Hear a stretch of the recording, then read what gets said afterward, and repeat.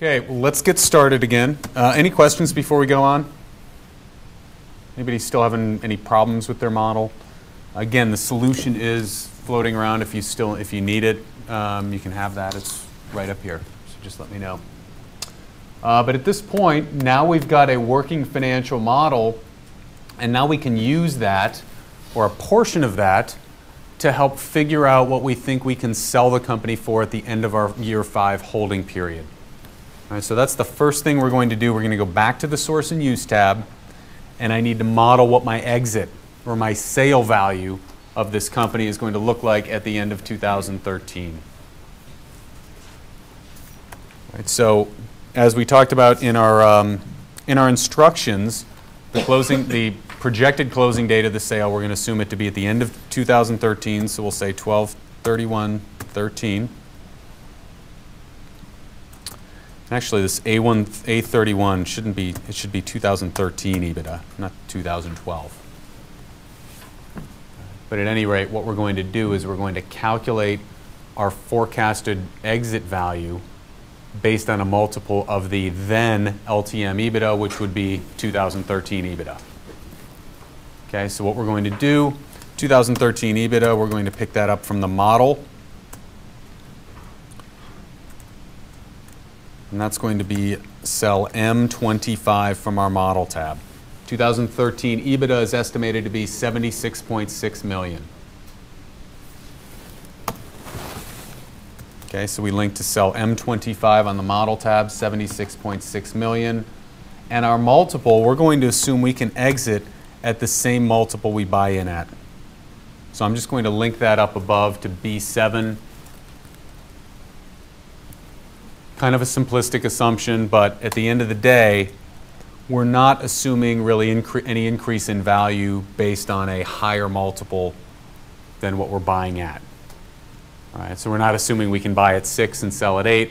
The only difference in value is really going to come from the increasing EBITDA over that five-year period. We're going to multiply that by the same multiple, and that's our exit. If And it could be. I mean, we could, this is just one assumption. We could assume that we're buying low and we can sell higher. Right, and that's obviously going to have a much more positive impact on our returns if all other things are held equal. Or we could assume that maybe if we want to run a very conservative case, we'll run it at a lower multiple. One of the things we do we'll do later when we get in and I show you how to do an LBO valuation is we'll model it for a couple different scenarios. We'll model it for this base case at six times. I'll model it under a downside assumption that we can only sell at five and a half. And I'll model it in an upside assumption, assuming we can sell at six and a half. Okay, but yes, I mean, we could have all different types of assumptions here. It's really going to depend on what we believe the market's going to look like in five years.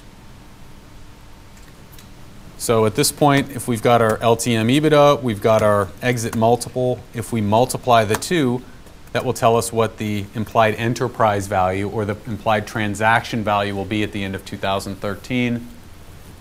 In other words, we expect that we can sell this company for 459.5 million at the end of 2013 based on the assumptions we've made. And just like our example of the house yesterday, when we sell the asset, first thing we we need to do is we need to pay down our, any debt that's outstanding against that. So in this cell 8 or B34, I want to say minus sum, left parenthesis. Then I want to go to my model tab, and I want to capture the debt that's outstanding at the end of 2013. Cells M73 to M76 on the model tab. My revolver, my term loan, my senior bonds, my unsecured notes with warrants. Just 186.6 million. Again, make sure you say minus sum. I want this to show as a negative to be consistent with how I've labeled the row over here. Then if there's any cash in the company at that point, that's something that can come back to us. I believe cash ends up being, actually cash ends up being 21.1 million. We want to say equals M47 on the model tab.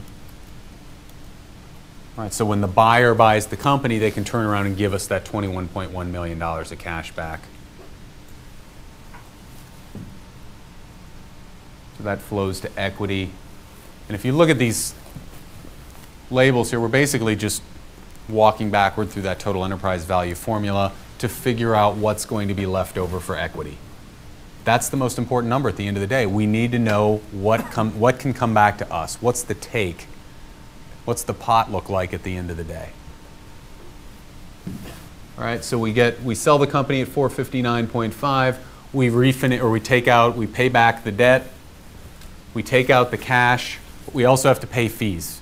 It's like anything else. Any transaction is going to involve some fees. And if we look at footnote one, down here in row 44, it says for our fees, we're going to assume 1% of the purchase price is a banking fee. That is, we're going to pay that to the bank we engage to represent the company for M&A, to sell the company. We're going to pay 1% to our bankers plus another 2 million to the lawyers and the accountants and everyone else associated with the or involved in the transaction. And also, we've let we've set this up to say less transaction fees, so I want this to show up as a negative. So my formula should be minus 0.01, 1%, times my transaction value, or B33, minus 2. That 2 million in legal and other costs. Right, so all these fees taken together should be expressed as a negative. Again, minus 0.01 times our transaction value minus another 2 million. And when you add all of those up, it should be minus, it should be 6.6 million of fees in total. Make sure you get your signs in there correctly. Now that we have all of those numbers, if we add those together, transaction value less total debt plus cash minus transaction fees, if we sum those up, if we take the sum of B33 to B36, that tells us that the implied value remaining for the equity holders is 287.3 million. This isn't necessarily, this isn't our take though. All right, remember, in order to do this deal, we had to give up 5% in the form of a warrant to the unsecured note holder, so they've become a 5% equity holder in the company. So now the last step here is we need to split that 287.3 among ourselves as the private equity firm or the sponsor and the mez fund that put in that unsecured note with warrants. We took all that risk by taking PIK interest, by being unsecured, being at the very bottom of the, of the debt stack. Okay, so the first thing we need to do, percent equity to the sponsor or to us is going to be equal to minus, or 1 minus that warrant, or K20. 1 minus K20, or 95%. So if we multiply our equity value, B37 times R percent, 95%, and B38, that says that of that 287.3, 95% of it, or 272.9 million, comes back to us. And then the percent equity to the unsecured note holder, we'll say equals K20. That's where we've specified their 5% warrant. And if we multiply 287.3 times 5%, it tells us that 14.4 million goes back to the unsecured note holder in addition to their principal, in addition to their interest that they got paid back when we took out the total debt. All right, well, at this point, we now know what all of our cash flows are. We know what we're putting into the deal, we know what we're getting out of the deal. And because we know those things, now we can run a returns analysis, both for ourselves as the private equity firm. We can also run it for the unsecured lender. We're not going to do it for the other lenders because they're just getting their interest, they're just getting their principal. Their IRR is equal to their interest rate for the other lenders. So we don't need to run a returns analysis for them. We'll run it for the unsecured lender because they get their interest, they get their principal, but then they get a little something more in the form of that warrant. That warrant ends up being worth 14.4 million. So their return is going to be slightly higher than their stated interest rate of 10%. We'll get to that in a moment. But the first thing we're going to do, we need to measure our own returns. And the way we do this is we're basically going to calculate our cash flows every year as the sponsor. What do we put in at the beginning? What do we get each year in the interim? What do we get out at the end? And once we have those cash flows totaled, Excel has some nice functionality that allow us to automatically calculate or quickly calculate the internal rate of return on the deal. So the first thing we need to do for year or for time zero, 1231-2008, which is the day we close or we're expecting to close this transaction, we need to enter our initial equity investment. And we need to enter this, all of these cash flows will be entered as either a cash inflow or a cash outflow from our perspective as the investor. So day one, we put 104 million into the deal that needs to be treated as a cash outflow from us. It needs to be shown as a negative. So at time zero, I'm going to say minus F22. My first cash flow, my initial equity investment is minus 104. Don't hard code this. Make sure we link, right? Because as the deal terms change, if our amount of equity required changes, we want that to automatically update down here, drive our returns analysis. So do not hard code that. And in years 2009, 10, 11, 12, 13, as we stated before, we're not going to be putting any additional money into the deal. So all we're going to do, we're going to actually zero those out. We can hard code these. Enter those as zero. We'll also do the same thing for dividends. We're not taking any dividends as part of this deal. Now, sometimes the sponsor might be able to withdraw some cash from the company every year. Usually, the lenders are going to have a say as to whether that can happen. That'll be specified typically in the loan docs, the loan documents for the deal. The lender will say you can either take distributions or not. It's going to be up to us, generally, as the lender. and most you know, like I said, most deals, if they're getting done, are getting done on pretty strict terms. So dividends, if deals are getting done right now, chances are sponsors are not getting paid dividends. That is, they're not taking cash out of the company each year. In this case, we're assuming zero for dividends, so we'll just zero those out. And our proceeds at sale really only apply in that very last year. We're not selling the company until year five. So these first five cells should be zeroed out. And in that last cell, we want to reflect this 272.9, 272.9 million of proceeds that we calculated earlier, our take. So we want to say equals B39 in that last year. Now what we're going to do is just sum up each column. We'll copy that across. When you paste it, paste special formulas. If you don't, you'll lose that border on the right side. So Alt ESF to paste, F9 to recalc. We've got a very clean, simple summary of our cash flows in all of these periods. We put in 104 million at closing, we get out 272.9 million at the end of year five. All right, well, now that we know those, we can calculate our returns. And there are two ways within Excel that we can do that. And really, it's going to depend on, I think, what, not really what version of Excel you have, but whether you've enabled a certain add-in that comes with Excel. All right, so one of these, if not both, will work for you. The first one is you enter this just like a sum formula. Equals IRR. Then you're going to select the range of your cash flows.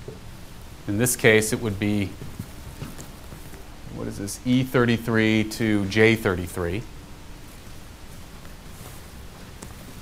And then typically you'll enter some guess, a random numerical number. Enter 1, enter 10, enter 1,000, it doesn't matter but just give Excel some guess formula or some guess to put in. And actually, when you start typing IRR, you hit enter or you hit your left parenthesis, it will specify what data it needs. Okay, so I typed in equals IRR, left parenthesis. Now the it's, uh, it says values in bold, basically telling me the next thing I need to input should be the values, my cash flows. I select those, comma one, my guess. When you hit enter, you should get a return, an IRR of 21.3%. Right, That works in this case, but it's not the preferred way I like to calculate an internal rate of return. The reason why is the IRR formula implicitly assumes that every cash flow in your model is precisely one year apart from the prior year's cash flow. In reality, we know that that in many cases doesn't happen. And we might get some cash on December 31st of one year, and then you know, maybe we can take a dividend at, say, June 30th, six months later. Well, IRR returns are strongly dependent upon timing, upon when those cash flows are realized. Think of the time value of money. Think of the discounted cash flow. How far back we're discounting cash flows has an impact on what the present value is. Right? And there's another formula in Excel that actually takes into account the exact timing of the cash flows. It's a very similar formula. It's called XIRR. And I would use this, provided you've got the add-in enabled on your computer. And some of you may, some of you may not. You'll know right away if you try and use this formula and you get an error, it'll tell you that the add-in's not enabled. Just use this, and I'll show you how to enable that at the end of class. Right. But XIRR, range of your cash flows, comma, and then you'll enter your range of dates. Right, As I mentioned in an earlier class, Excel has the ability to calculate the number of days between dates. So by entering the range of dates, Excel can take into account the precise timing at which those cash flows occur. And in most situations, again, these happen to be a year apart, so IRR works, but in many situations, cash flows will be a little lumpy. You might get some cash on December 31st, then no cash the next December 31st, then you might take a dividend the following March 30th, etc. And XIRR is better, better equipped to handle that. So XIRR, range of my values, E33 to J33, comma, range of my dates, E29 to J29. Hit enter, and I get the same number, but if those dates changed, you'd see a change in the IRR. Does everyone understand the difference? Give you an example. Let's say, let's say in um, 2013, instead of selling it December 31st, we sell it June 30th. If I change that date to June 30th, F9 to recalc, you see that my IRR has actually gone up.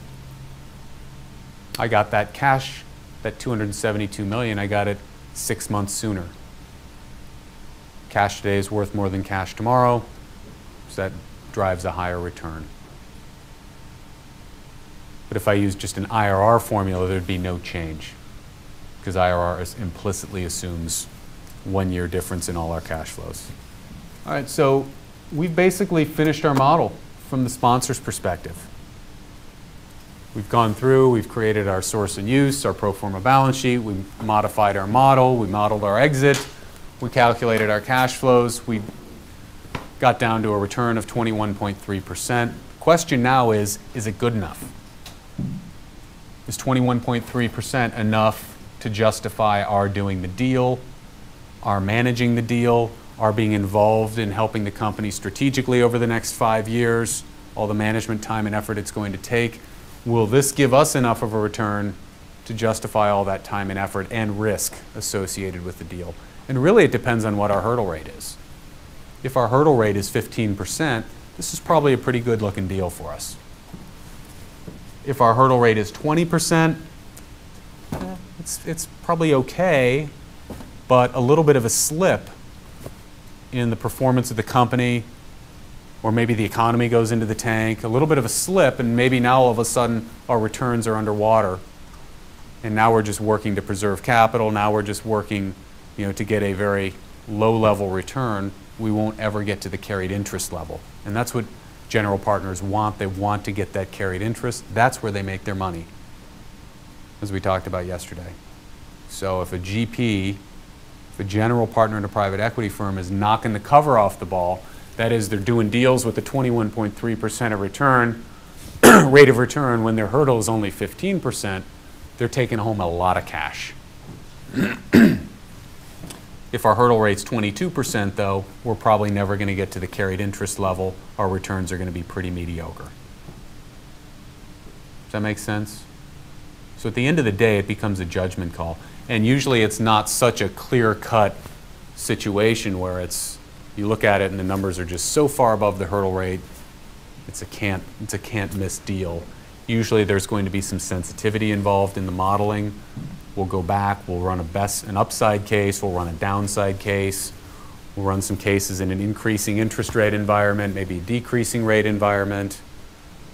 We'll try and really dig into the model and help understand the risks associated with this deal. It's usually not just a go or no go decision. It's usually not that easy. This is like dollar size factor into the decision. Um, well, it, it will. You know, a, a private equity fund, take Blackstone for example. I think their last fund, before the you know before the music stopped, so to speak, last year, I think their last fund was like 20 billion. Right, So they they need to get that money invested as quickly as possible. Get it out in the market, get it working, so that they can start so they, so they can start selling investments, realizing cash returns, and get back to raising their next fund. In private equity, it is to an extent, it's all about getting that money deployed, turning it over, getting back out to the market, and raising more funds. Because if you can imagine, a firm like Blackstone, if they've got a $20 billion fund and they're taking a one, one and a half, two percent management fee on that, that's real money. Okay. There's a reason you know they were excited to get to 20 billion. 1% on 20 billion is a lot bigger than 1% on 5 billion. And so private equity firms, they want to turn their money over as quickly as they can, get back to the market, raise ever bigger and bigger funds to drive those management fees. Those management fees come in, and private equity firms are pretty small. They're not, you know, for the most part, they're not firms with thousands of bodies around that need to get paid.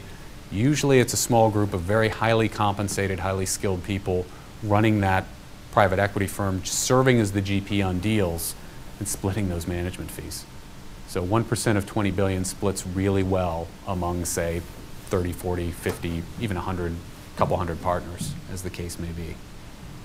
Uh, So private equity firms intentionally limit their size. They try and get bigger dollar amounts. When they get bigger dollars under management, they have to do bigger deals. So a deal like this, where they're only putting a 100 million in, probably isn't very economical for a Blackstone if they've got a 20 billion dollar fund. You got to do a lot of 100 million dollar deals to get fully invested. And it's kind of a paradox of private equity. As you get bigger, you have to look at bigger and bigger deals, and there are so ma- only so many of those out there. There are only so many lenders that are going to be willing to step up and fund those big deals too. So there are probably some theoretical limits as to how big private equity can get. Now, the Mez fund is going to be set up probably pretty similar.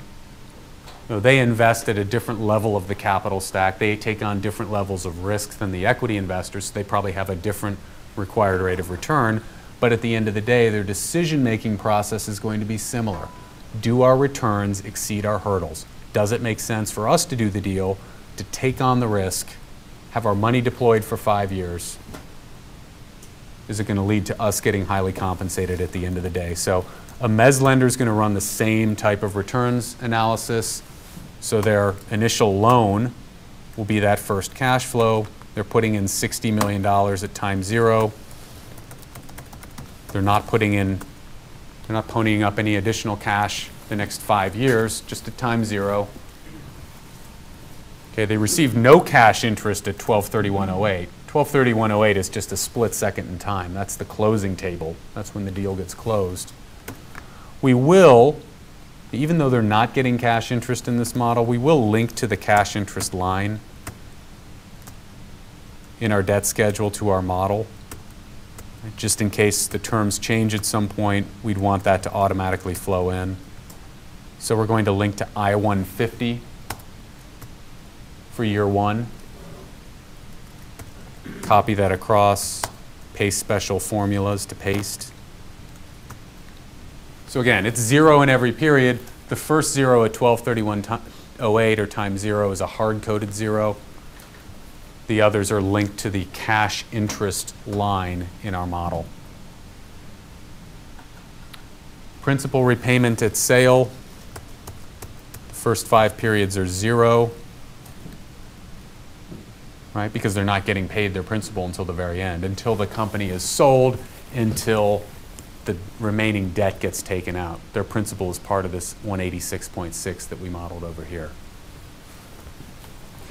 But we'll also pull this from the model. So we'll say equals that 96.6 million, which is in cell M148 in the model tab.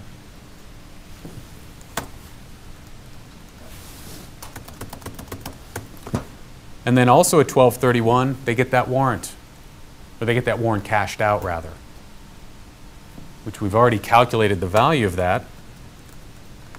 It's in B42, it's that 14.4 million. So as I said a moment ago, they're going to get something more than just their interest and their principal repaid. They're going to get that warrant value at the end as well. And if we sum up their cash flows just like we did for the private equity firm in each year, we can now calculate a return for the mezz lender using that same XIRR function, specifying our cash flows first, then specifying our date range second. And when we hit enter, we should get a return of 13.1%. So something north of their interest rate. Their interest rate was 10%. That warrant in year five, that warrant value in year five bumps their returns up to 13.1%. If there was no warrant, let's just delete that. Their return is just their interest rate. It's just bond math. Okay, but the decision-making process, as I said, very similar. 13.1%, is it good enough? If we're the mezz lender, does that significantly exceed our return hurdle? If our return hurdle is 15%, then we're not priced highly enough because 13 13.1 won't cut it. If it's 12%, then maybe it's pretty good. And that's how these lenders, that's how these mezz lenders price their money. They've got a target. Just like private equity. If they don't get over and above it, they don't get carry. If they don't get carry, then they're spending a lot of time and effort to get pretty meager returns. All right, and the next thing I want to do, I'm going to do it up here. You don't have a space for it yet in your model. So now I'm going to show you how to do this, how to use this type of model as a fourth valuation methodology.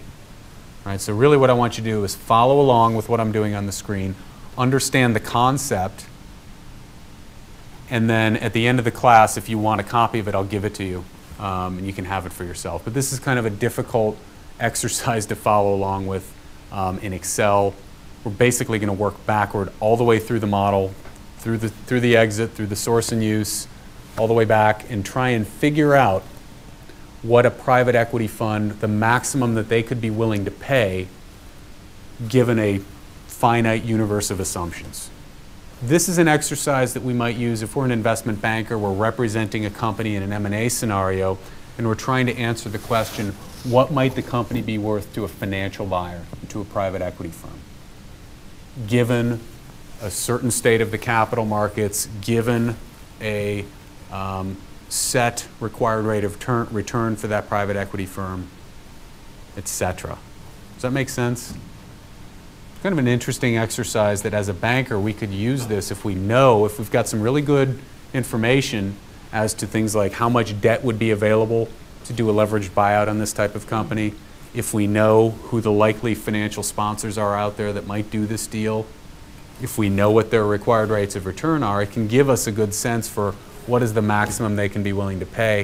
And obviously, if we have an idea of that, it's pretty useful at a negotiating table, right? If you know what the other party can pay, then it helps to know how far that you can push them in the negotiations. So that's probably a scenario in which this would be useful or could be useful in the real world. What we're going to do And as I scroll down below in my model, again, you don't have this. You shouldn't have this at this point in your model. Is I've got a valuation template that we've created. And what I'm going to do here is I'm going to run three general scenarios on the exit. I'm going to run a base case on my exit, assuming something similar to what I assumed over here. I'm going to assume that as my base case, my most likely case, this company should be able to be sold for six times EBITDA at the end of year five. And then, as we talked about a moment ago, I'm going to run a downside case where maybe the world's not going to look as, as rosy as we think it will sitting here at time zero. Maybe this company can only be sold for five and a half times. Then we're going to run an upside case. Maybe it can be sold for six and a half times.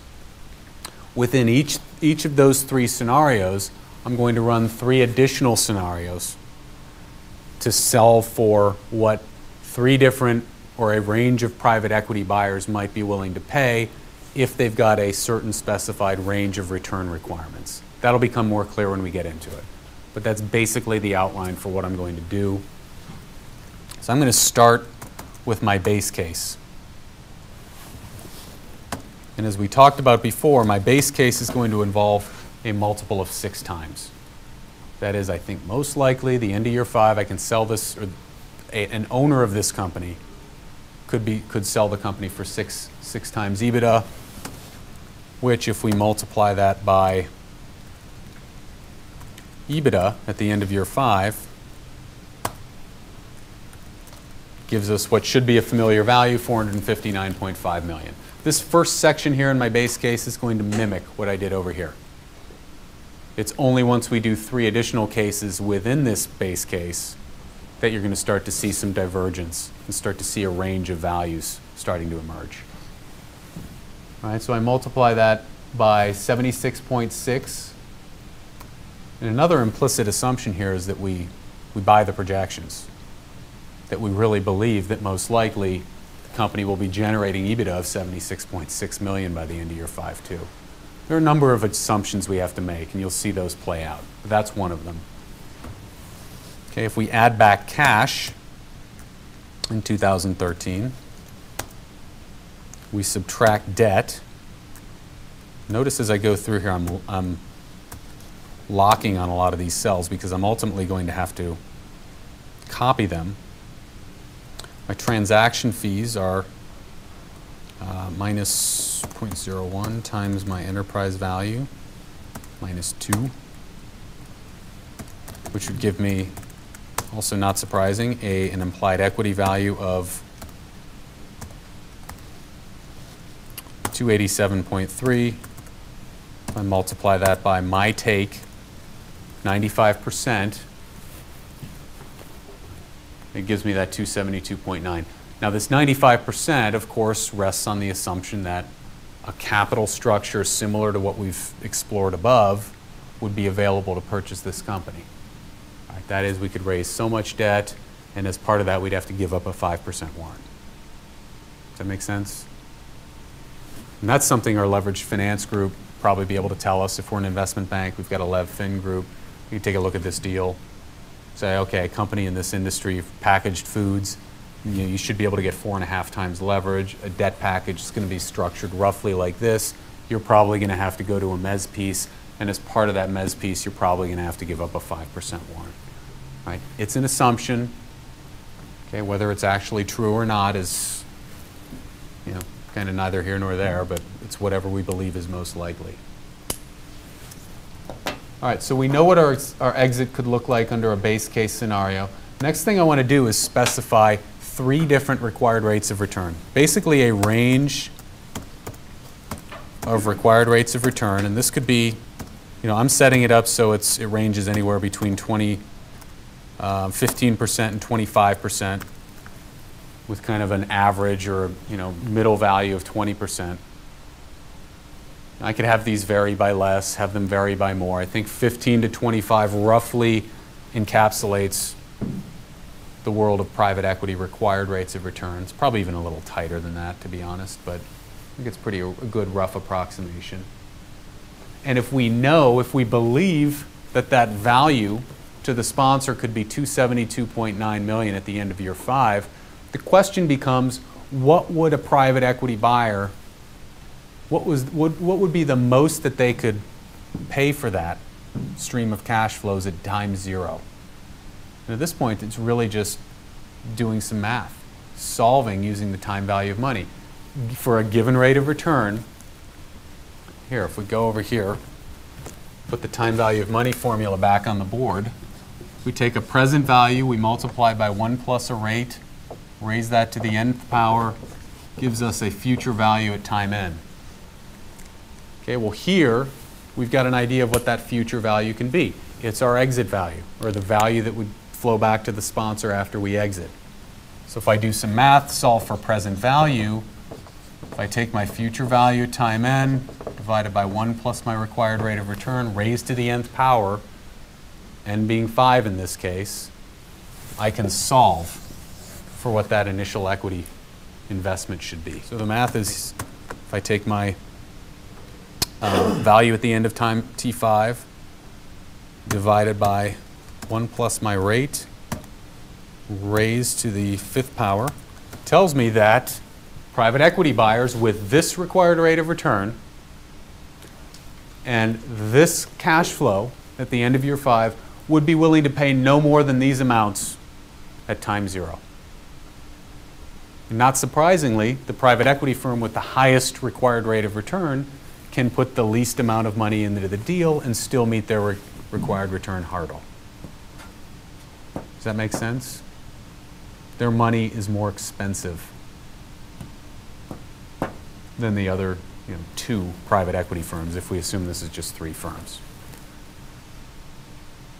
You can typically find out a lot about private equity firms if you can get your hands on their prospectus, their PPM. It will tell you what their waterfall structure looks like. It will tell you generally where the breaks are, and you can figure out what those required rates of return are for the PE firm. It's really what is the point at which or after which the cash flows start to flow heavily back to the general partner.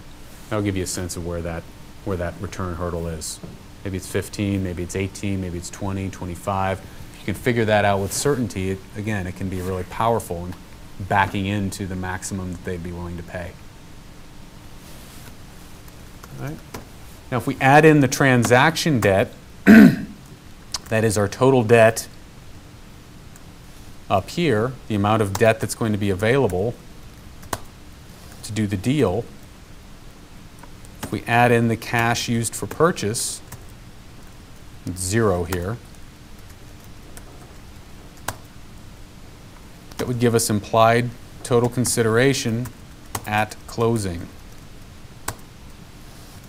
in each case. And again, the higher the return requirement, the lower they can pay, the lower they can value that company at at closing. Now, if I change that 20% to 21.3, recalculate it, you'll see that the numbers start to look pretty similar to what our base case looks like. Right? Because this deal at the base case is valued at 20 or has a return of 21.3 gives us roughly a transaction value very similar to what we saw before. All right, now if we look at debt that would get refinanced, what we're doing is we're basically walking backward through the sources table, backward through the uses table, trying to figure out what the implied enterprise value of the deal could be at, at year one. Subtract transaction fees. Okay, we're walking backward through our uses table. Now we're implying what that equity value would be, what that implied equity value would be at closing. We buy the company. And now if we just add back debt and take out cash on the balance sheet, it'll give us the implied enterprise value.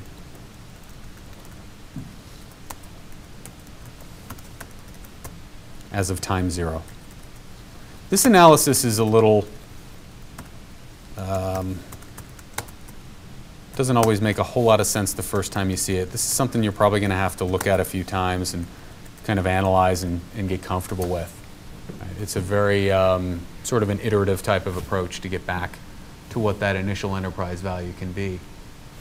Right, but if we get back to that point, we've basically walked all the way back. If we look at that relative to EBITDA in year one and give us a sense for what those implied EBITDA multiples can be. So what this is telling us is that a buyer with a 25% required rate of return, this is the maximum they're going to be willing to pay at time zero. So if we have an, if we have a sense of what those buyers' required rates of return are, we have a sense for what type of capital is available in the marketplace for deals like this, and if we have a good sense for what that exit can be on the back end, we can know who we can push and how far we can push them in negotiations. And ideally, we know this with a lot more certainty for each individual private equity buyer we might be talking to. Okay, well, we can also do this. Again, we can do this on a downside case. And obviously, on a downside case, if the exit value is worth less, if there's less cash at the end, they're probably going to be willing to pay less for it in the beginning. So these valuations tend to be lower. The valuation for the 15% PE firm is going to be lower in a 5.5 times exit than it will be in a 6 times exit. All right, so each corresponding value would be lower. And the opposite would hold true for our upside case. So if we take this, if we assume we can exit at 6.5 times instead,